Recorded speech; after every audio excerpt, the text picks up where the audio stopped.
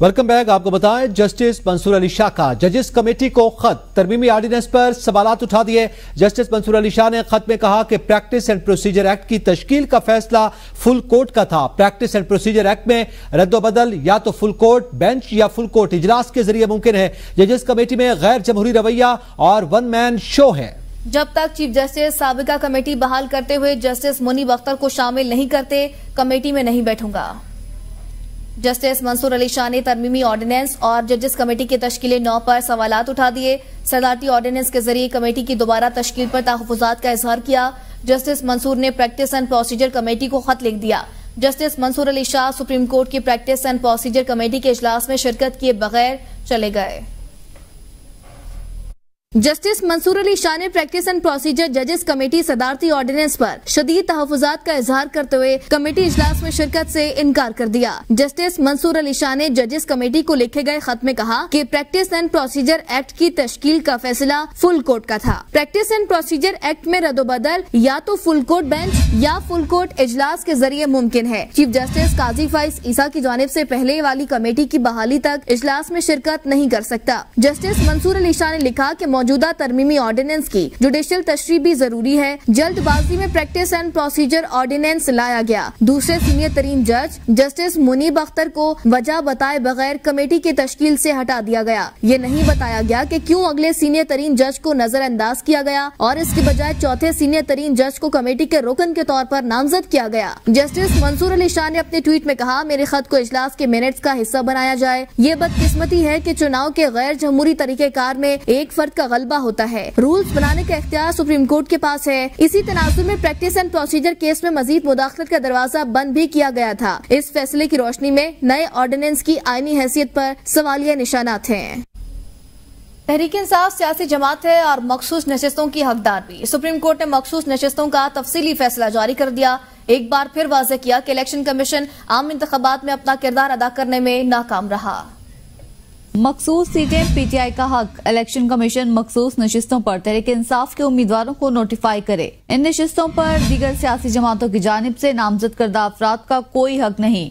Supreme court ने सत्तर सफात पर मुश्तमिल तफसीली फैसले में पूरी वजाहत कर दी। सुप्रीम कोर्ट ने इलेक्शन कमीशन के रवैये पर भी हैरानी का इजहार किया। कहा, कमीशन बुनियादी फरीक मुखालिफ के तौर पर केस लड़ता रहा।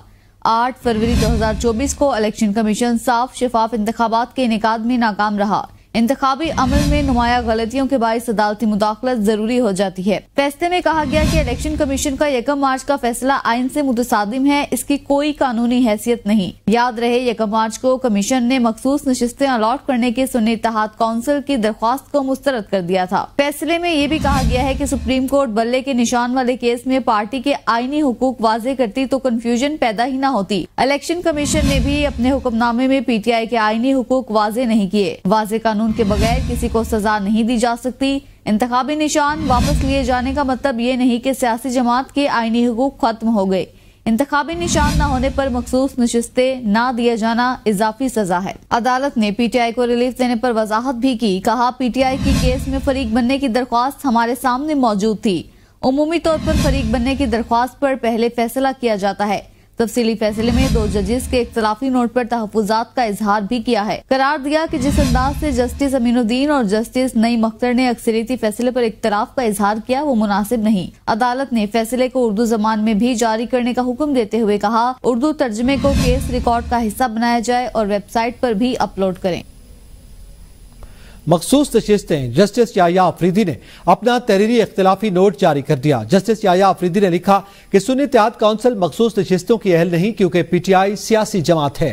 मखसूस नशस्तों के केस में जस्टिस याया अफरीदी ने छब्बीस सफात पर मुश्तमिल तहरीरी इख्तलाफी नोट जारी कर दिया, जिसमें लिखा गया है कि सुन्नी तहत काउंसिल मखसूस नशस्तों के हसूल के लिए आईनी तकाजों पर पूरा नहीं उतरती। सुन्नी तहत काउंसिल की दरख्वास्तें मुस्तरद की जाती हैं। इन्होंने कहा कि सुनी तहत काउंसिल मखसूस नशस्तें लेने की अहल नहीं। तहरीक इंसाफ सियासी जमात और मखसूस नशस्तों के लिए अहल है। जस्टिस याया अफरीदी ने लिखा कि इलेक्शन कमीशन फरीकैन को सुनकर सात रोज में फैसला करे। सऊदी अरब के कौमी दिन के मौका पर वजी अजम शहबाज शरीफ का खसूस पैगाम। In acknowledging from the core of our heart the kingdom's generosity in helping stabilize Pakistan economic situation from time to time these historic justice have touched us deeply and profoundly forever.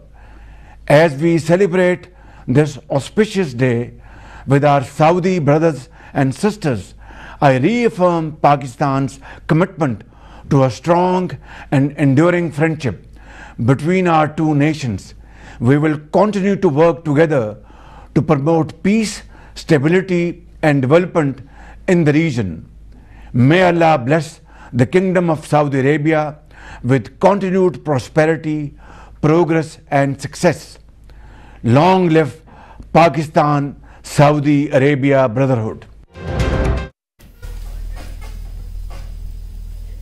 Saudi अरब के कौमी दिन के मौके पर वजी अजम शहबाज शरीफ ने खसूसी पैगाम जारी करते हुए कहा कि सऊदी अरब के इकदाम काबिल तकलीद हैं और उनको इस दिन की मुनासबत से मुबारकबाद पेश करते हैं पाक फौज के लेफ्टिनेंट जनरल मोहम्मद आसिम मलिक को आईएसआई का नया सरबराह मुकर कर दिया गया। वो 30 सितंबर को नई ज़िम्मेदारी संभालेंगे। लेफ्टिनेंट जनरल आसिम तजर्बे और इल्म की दौलत से मालामाल हैं और कई बरसों से फौज में अहम उहदों पर मुख्तलिफ़ कायदाना किरदार अदा कर रहे हैं। मजीद जानते हैं इस रिपोर्ट में।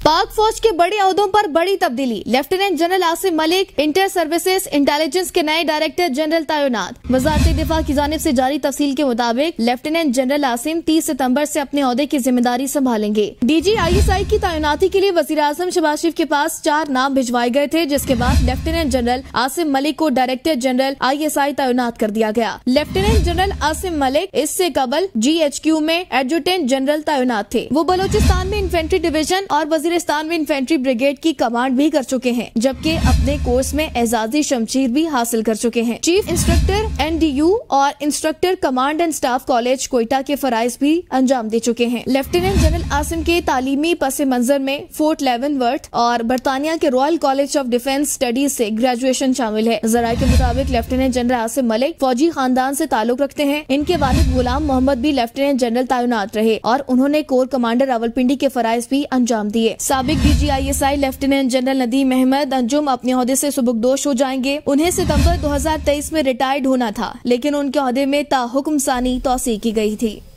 वज़ीर अला पंजाब मरियम नवाज़ और पाकिस्तान मुस्लिम लीग नून के सदर नवाज़ शरीफ से अमरीकी सफी डोनाल्ड ब्लूम ने मुलाकात की है। मुलाकात में बाबी दिलचस्पी के अमूर पाक अमरीका ताल्लुक के फ़रोग और मुख्तलिफ़ शोबों में ताउन बढ़ाने पर तबादला ख्याल किया गया।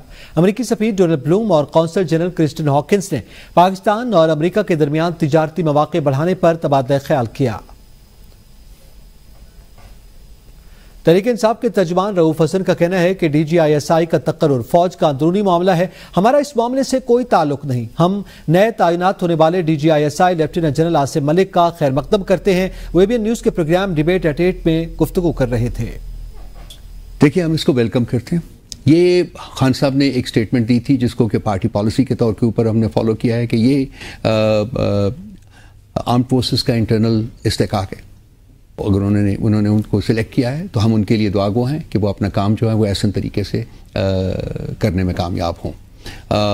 हम इसमें बिल्कुल किसी किस्म की हमारी पार्टी जो है इसके में किसी किस्म की कोई इंटरफेरेंस नहीं करेगी ना ही हमें इंटरफेरेंस करनी चाहिए frankly so we welcome it and we wish him the best of सूबाई वज़ीर इतलात अजमा बुखारी का कहना है अली मीन गंडापुर ने मरीम नवाज़ के खिलाफ गंदी जबान इस्तेमाल की। इनकी गंदी गुफ्तगु का इलाज हमने कर दिया। उन्होंने कहा कि फलक जावेद का पूरा खानदान घटिया हरकतें करने के बाद भाग जाता है। सोशल मीडिया के गलत इस्तेमाल पर कार्रवाई होनी चाहिए। जो ट्वीट किए गए मैं बता भी नहीं सकती। मैं डट कर मुकाबला करूँगी किसी से डरने वाली नहीं। उनका मजीद कहना था कि फलक जावेद के वालिद ने वीडियो का इल्ज़ाम भी मरियम नवाज़ पर लगा दिया। हम अदालतों की तरफ़ देख रहे हैं कि क्या कर रही हैं। वो लाहौर हाई कोर्ट में मीडिया से गुफ्तगु कर रही थी। जब इस तरह की गंदी और घटिया गुफ्तगु जो गंडापुर ने की थी उसका तो खैर इलाज हमने कर दिया। वो जो ये बकवास कर रही है, उसके बाद फिर ये कहेगी कि मैंने कुछ नहीं किया। ये गंदी, घटिया हरकतें करते हैं और उसके बाद फिर भाग जाते हैं, फिर औरत कार्ड मजलूम कार्ड निकाल के ले आते हैं। यहाँ पे खड़े होकर उनके वालिद साहब ने जो एक बुज़ुर्ग आदमी है, उसने खड़े होकर मेरी वीडियो का इल्ज़ाम भी मरीम नवाज़ पर लगा दिया। और कल परसों जब ये जलसा हुआ है लाहौर वाला, पूरी टाइम लाइन उस घटिया औरत की उठा के देखे। उसने जो जो ट्वीट किया मैं बता भी नहीं सकती। मेरा केस उस औरत के बारे में नहीं है, मैं उसको कुछ नहीं समझती। लेकिन इस औरत को जो ये जो, जो सरगना है इस सारी चीज़ों का इस औरत को कानून के अंडर आना पड़ेगा। ये किसी भी कोने में छुप जाए बाहर तो आना पड़ेगा इसको। और जवाब देना पड़ेगा इतनी मजलूमा मासूमा हो ना आ जाओ बाहर आके साबित कर दो कि तुमने कुछ नहीं किया। पीटीआई रहनुमा असद कैसर ने कहा है कि हुकूमत दिसंबर तक नहीं रहेगी। शहबाज शरीफ खुद ही इस्तीफा दे दें। सबक स्पीकर कौमी असम्बली असद कैसर ने दावा किया कि हुकूमत दिसंबर तक नहीं रहेगी। बेहतर है शहबाज शरीफ खुद ही इस्तीफा दे दें। निजी टीवी से गुफ्तगु में उन्होंने कहा, जिस तरह का हमने जलसा किया, ये सारी पार्टियाँ मिलकर भी वैसा जलसा करके दिखाएँ। चैलेंज करता हूँ, मियाँ साहब, हमारे जलसे से आधा भी करके दिखाएँ। आम आदमी महँगाई और बदमनी से तंग आ गया। हम असम्बली में अपोजिशन का किरदार अदा कर रहे हैं। हमारी मखसूस नशस्तें छीनी की कोशिश की जा रही है। हुकूमत अपनी तमाम अखलाकी हदूद क्रॉस कर रही है। हमारे पास भी ऑप्शन कम हो रहे हैं। जल्द सड़कों पर होंगे। हमारे पास हुकूमत हटाओ, तहरीक के अलावा कोई ऑप्शन नहीं। असम्बलियों से इस्तीफों से मुतालिक अभी इंतज़ार करना होगा। हम चाहते हैं कि मौलाना फजल रहमान और दीगर पार्टियाँ भी हमारे साथ ऑन बोर्ड हों। अमीर जमात इस्लामी हाफिज नईम ने कहा है कि हुकूमत से मुआदे के 45 दिन की मुद्दत आज मुकम्मल हो गई। कल मंसूरा में आइंदा के लाएमल का ऐलान करेंगे। मौसम बेहतर हो गया है। इसके बावजूद यूनिट कम नहीं हुए। लोग तैयार हो रहे हैं। एहतजाज का दायरा वसी होगा। उनका कहना था कि शटरडाउन हड़ताल के बाद अब पहिया जाम हड़ताल करेंगे। हुकूमत आईपीपीज मुआदों पर नजरसानी करे। आवाम को इस वक्त कोई रिलीफ नहीं दिया जा रहा। धरने में हुकूमत ने हमारे साथ बाकायदा एक तहरीरी एग्रीमेंट किया। आज उस एग्रीमेंट के 45 दिन मुकम्मल हो गए हैं और कल इन मंसूरा लाहौर में जमात इस्लामी का जो हेडकोार्टर है, उसमें मैं आइंदा के लाए अमल का ऐलान करूँगा। और हमारे पास ये ऑप्शन मौजूद है कि पहले हमने शटर डाउन हड़ताल की थी, अब पहिया जाम हड़ताल करेंगे और हड़ताल भी, ये भी ज़ैर गौर है कि एक दिन की करनी है या लगातार कई दिन की करनी है। सर दस इस पूरे अरसे में हुकूमत ने ऐलान तो बहुत किए हैं और रोज़ ये ख़बरें आती हैं कि वो आई पी पी से बातचीत हो रही है और आई पी पी को मजबूर किया जा रहा है कि वो अपने जो कैपेसिटी पेमेंट है उससे विड्रॉ कर लें। लेकिन महज बातों से ऐलान से कमेटियों से मसला हल नहीं हो रहा। जो इकदाम हुकूमत को खुद करना है वो उन्हें खुद करना पड़ेगा। न्यूज़ स्टूडियो से आप तक के लिए इतना ही। देखते रहिए बी न्यूज़ कौम की सोच।